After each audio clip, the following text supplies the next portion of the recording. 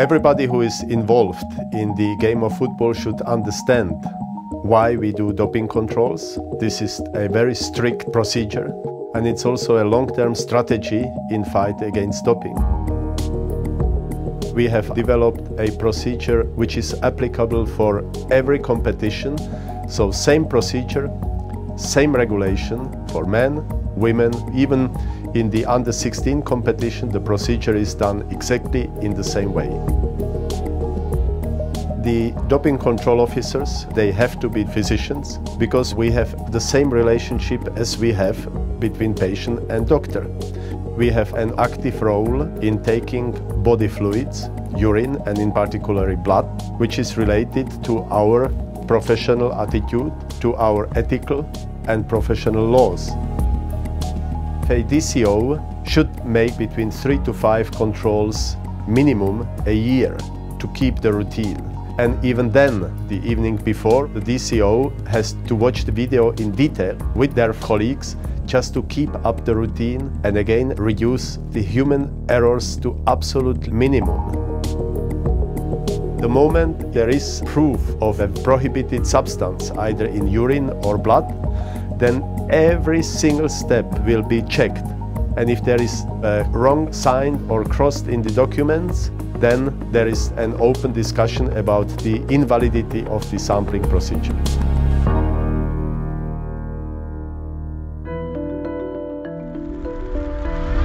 To perform FIFA's doping control procedure, a doping control officer or DCO is required, along with an assistant from the local organising committee.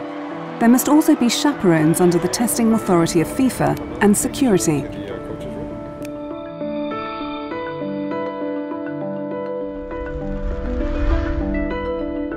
There needs to be a doping control room with a specific area for testing, several tables and at least four chairs. For the blood test, the phlebotomist requires an area and a chair. There also needs to be a toilet. There must also be a doping control waiting room containing at least eight chairs, a locked cupboard, air conditioning, a shower, towels, drinks, a lockable fridge and a biological waste container.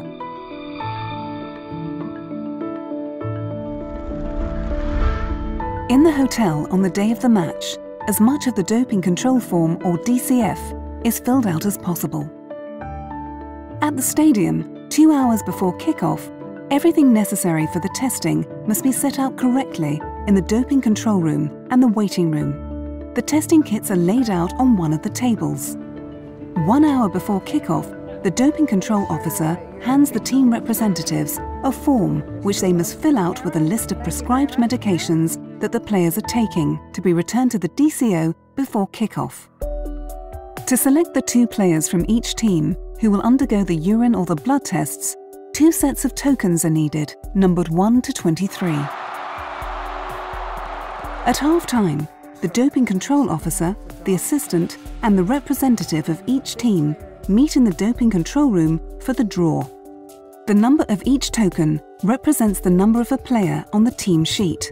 The teams are divided into Team A and Team B, and either can be drawn first. The tokens are poured into a bag and the assistant picks out the first token. Without anyone seeing the number, the token is placed into an envelope which is sealed. The DCO and the team representatives initialize the envelope. The same process is followed for the other players from each team. The four envelopes from each team are placed into a bigger envelope along with the extra tokens. That larger envelope is also initialized.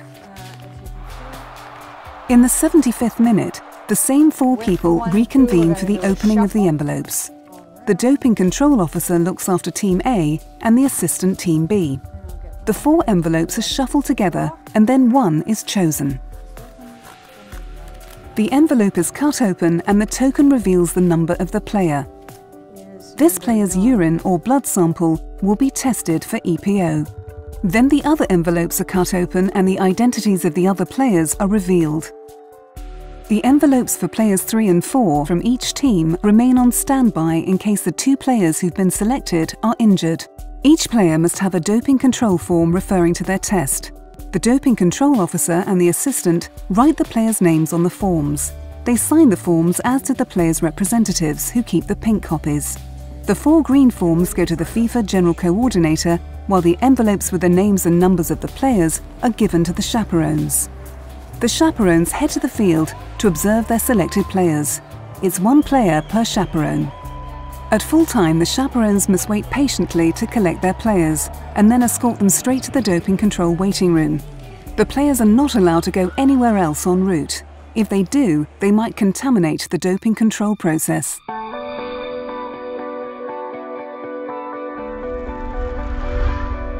The players who are waiting for their test or are unable to pass urine must stay in the doping control waiting room. They are encouraged to drink, so they pass urine sooner. They may shower, use their mobile phones, watch TV, change clothes, and eat food brought to them. Once the player feels that she is ready, she notifies the team representative or the doping control officer. The DCO checks the player's accreditation and her team number. Player consent. The player's name and date of birth are filled out on the doping control form. After being made aware of the contents on the back of the form concerning the process and requirements of doping control, the player signs the form. Her signature thereby gives informed consent to take part in doping control. The DCO requests that the player chooses a plastic case containing a beaker from a sealed and numbered urine test as well kit. as one of the brown boxes. The player must be able to choose from a selection of at least three urine test kits. The player puts aside the kit and opens the package containing the beaker by tearing the marked plastic along one side. The player must ensure she doesn't put her fingers inside the beaker as this could contaminate the sample. The DCO explains that at least 90 ml of urine must be produced for the test. The player takes the beaker into the bathroom, accompanied by the DCO or the assistant. Once inside the bathroom, the player pulls down her shorts to her knees and her shirt up to her bra and urinates into the beaker under the direct supervision of the DCO or the assistant. At all times, the DCO or the assistant must have an unobstructed view of the urine leaving the player's body. When the player returns with her urine sample, the DCO checks the amount of urine and writes the figure in the form. The player is then given the option of either opening the urine test kit herself or allowing the Need to open DCO to do it on her behalf. open it? You want to open it? It is opened by pulling apart the plastic as guided by the arrows on the packaging. Whoever is undertaking the procedure removes the two glass bottles, A and B, the folded plastic container, and the instruction pamphlet and puts the container box to one side. She takes off the bottle tops and the plastic around the bottlenecks and checks the number on each bottle to ensure that it matches the number on the outside of the box. Taking the beaker that has the player's urine, she ensures that the lid is tightly closed by pushing down hard enough to hear a double click. The player decides whether they themselves or the DCO will pour the urine into the bottles. The decision is documented in the Doping Control Form or DCF. If the player does it, the DCO explains the procedure. Bottle B is filled to a minimum of 30 ml. The remainder is poured into bottle A to a minimum of 60 ml. If there is more, bottle A and then bottle B are filled to capacity. A small amount is left in the beaker. The time at which the urine is poured into the bottles is noted in the doping control form. The player, or if she prefers the DCO, screws on the glass bottle lids as tightly as possible and turns the bottle upside down to ensure there is no obvious leaking. The number on the bottles is rechecked and written on the form by the DCO. The small amount of urine left in the bottle is checked for its specific gravity. The DCO does this by using a chemical coloured test tape. The colour on the test tape after urine absorption is compared to the colour chart and the specific gravity figure is written into the DCF. The player or DCO places the glass bottles into the designated plastic containers and seals them, getting rid of all the air.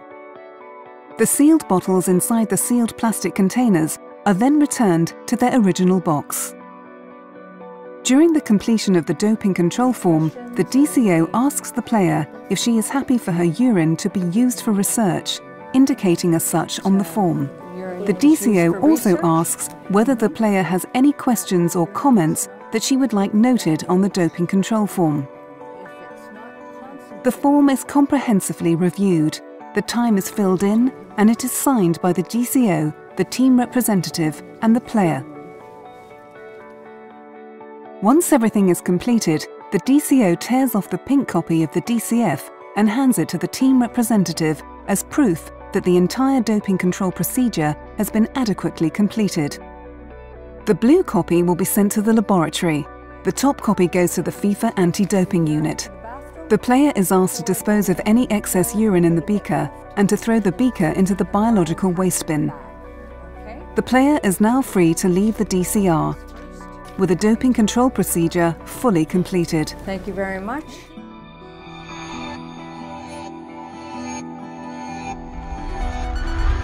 If a player produces a urine sample of less than 90 ml, then this is called a partial sample. The amount of urine in the partial sample is written on a special designated part of the DCF. The player may open the urine testing kit herself or ask the DCO to do it on her behalf. As it is a partial sample, only bottle A is required. Bottle A's plastic covering is unwrapped, the lid is removed, but the red plastic ring on the bottleneck is left on, and the bottle number is checked to make sure it corresponds with the number on the box as before. The partial sample of urine is poured into bottle A. The stopper is put into position to temporarily seal the bottle, and the lid is put on. Note that the lid is not screwed on permanently yet. Bottle A is now returned to the original brown box and closed. The player is asked to select a partial sample sealing kit, which has its own identification number. The number of this kit is noted in the DCF. The kit is opened by the player or DCO. The brown test box with the partial sample and the temporary lid is placed into the plastic bag and sealed. The bag is placed on a table to the side, and the player heads back to the doping control waiting room to drink more fluid. Once the player is ready to pass urine again, she selects a new beaker, takes it out of its plastic container, and goes to the bathroom accompanied by the doping control officer or the assistant. Once the player has produced another urine sample, the DCO opens the partial sample kit from earlier and checks the identification number with the player. She removes bottle A, which contains the partial sample, and bottle B, and opens them both. If there is still not sufficient urine, the process is repeated as before. A. If there is sufficient urine, the DCO adds the partial sample from bottle A to the new beaker of urine and returns the lid, confirming it is closed with a double click. The combined amount of urine is written in the form. It is then poured into bottle B to above the minimum line as shown on the bottle. The remaining urine is added to bottle A, again above the minimum line, leaving a small amount left in the beaker for specific gravity testing. The player closes the bottles as tightly as possible. The DCO checks the specific gravity of the urine left in the beaker and writes the number in the form, continuing the rest of the process as normal. When all four players have been tested, the blue part of the doping control form is put in plastic folders. An exempt human specimen sticker is placed on each of the boxes containing the urine samples. The DCO fills out the chain of custody form. A copy is handed to a courier. The forms and the boxes are placed inside a designated transport container. The courier transports the samples to the testing lab.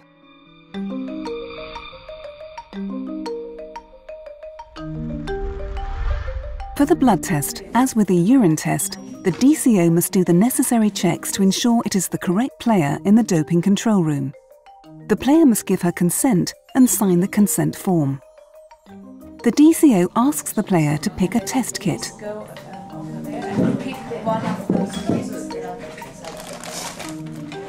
The player is then asked which arm she would like to be used for the test, and she is given the option of lying down or sitting to have her blood taken. The player decides if it's her or the DCO who opens the kit using scissors. The numbers on the three bottles and the stickers are checked to ensure they are identical. Blood must be extracted into three different test tubes. The test tube with a purple top is for EDTA and will go in the bottle with a red mark. The bottles with a yellow mark are for the A and B samples, which go into the test tubes with the yellow tops. The Blood Control Officer, or BCO, tightens the venous tourniquet around the player's upper arm and cleans the area where she will draw blood with antiseptic.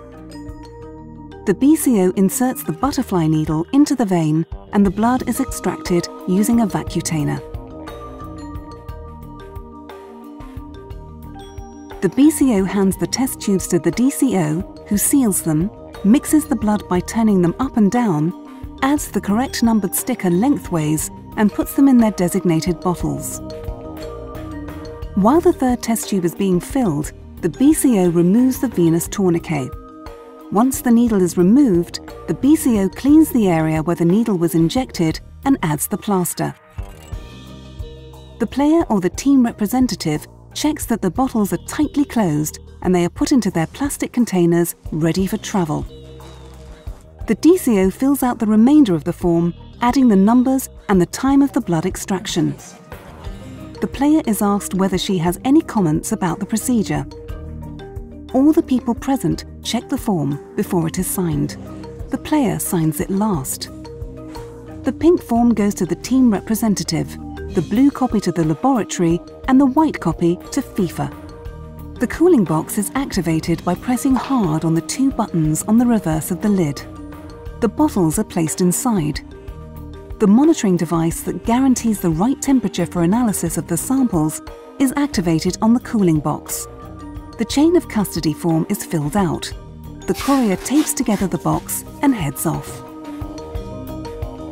Finally, all the waste that has been put into the biological waste container is removed.